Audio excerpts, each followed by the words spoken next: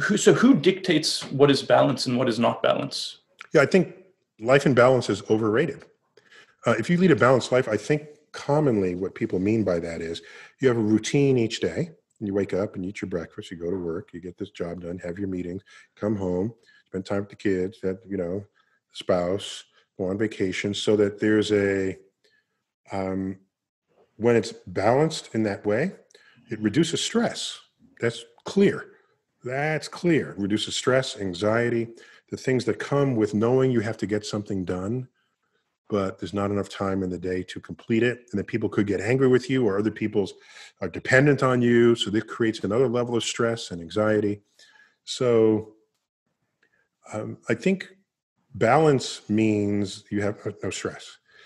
But you can ask, what does stress do when you do have it? If you survive your stress rather than have your stress kill you, if you survive your stress, you're trying to come up with innovative solutions to challenging problems every single day of your life. And I don't think that's all bad.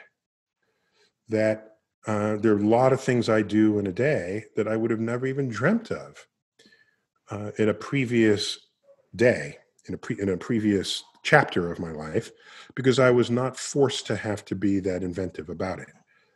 Um, even simple things like I only listen to my podcast when I'm in um, in the gym.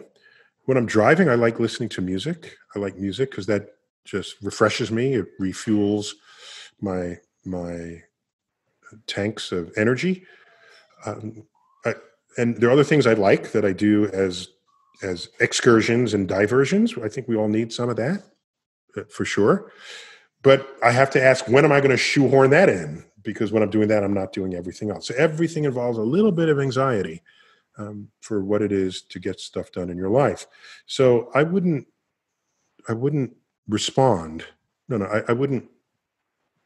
Um, for I wouldn't allow people who criticize your life as being out of balance to win that exchange if what you're doing makes you happy and if what you're doing works, even if occasionally some things fall off the table because there's too much there.